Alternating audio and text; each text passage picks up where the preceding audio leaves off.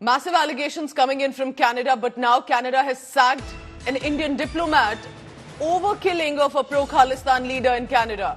A top Indian diplomat has been expelled by Canadian government. Trudeau is accusing the Indian government of killing Nijjar.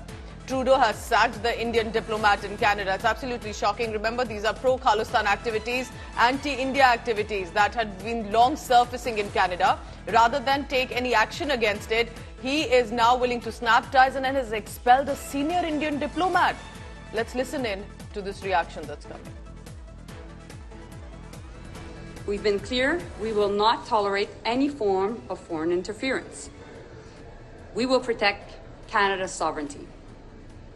I have conveyed these principles to my Indian counterparts, and I've also told him that we expect India's full collaboration to make sure that we get to the bottom of this.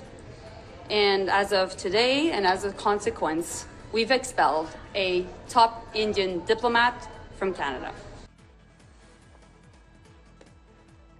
Let's go across to our Foreign Affairs editor Geeta Mohan with the latest on that. Uh, Geeta, this is big news, uh, expelling uh, the Indian diplomat. This is not looking good. And definitely India is not uh, a country to take this lightly. We thought Canada was a friendly nation, but sacking Indian diplomat and uh, accusing us, uh, in, accusing India government of, of shooting dead a pro-Khalistan leader. What exactly is the reason do you think Canada has taken this decision and what exactly has Trudeau's government said? Well, uh, this is a major allegation and a huge diplomatic row now between India and Canada, with the Canadian administration saying that after their investigations, it is clear that uh, an, in, that Indian agencies were involved in the killing of Hardeep, uh, uh, Singh Nijjar, and the fact that this is uh, uh, this is state involvement and that their sovereignty has been violated. so, huge diplomatic row.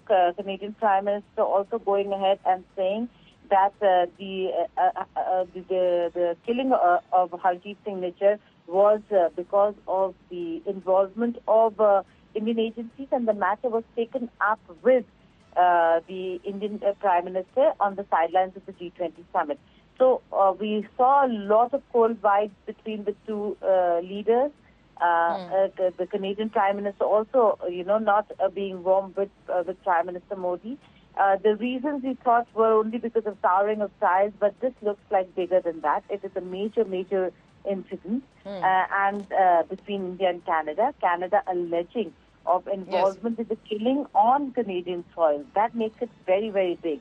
So now we do know that there, that there is a major reason why the the uh, ties between the two countries True. have soured and dipped.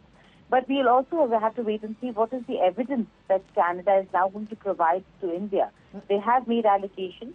That's the and, point. Uh, Geeta, that's the point. And I want to go across to Gaurav Sawant for that, for a country to make such a shocking, not only an allegation, believing, saying that they believe India is behind it, as they say, the Indian government, uh, but also expelling an Indian diplomat. Where is the evidence? They sh shouldn't they have put evidence first to actually put their case because this doesn't help Canada at all.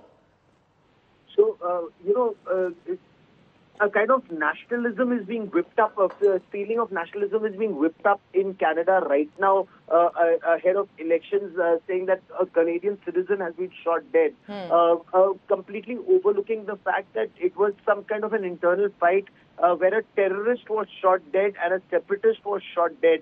Uh, in, a, in a fight outside of Gurdwara. And as you very rightly pointed out, what's the evidence? Canada for some time has been talking about alleged foreign interference in internal activities of China. And look at the, the Canadian doublespeak. Absolutely Chinese police stations being set up uh, yes. and Chinese, uh, you know, actions in Canada uh, for quite some time. But this is this is just an issue where uh, you know a, a, spirit of nationalism uh, is being whipped yes. up in Canada, getting others to support it. In fact, they are now flying, they're uh, sending their leaders to the United Kingdom. Rishi Sunak uh, is being approached.